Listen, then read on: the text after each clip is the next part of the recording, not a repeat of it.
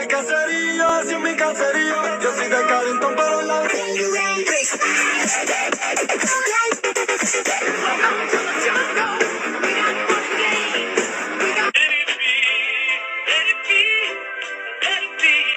Thank you.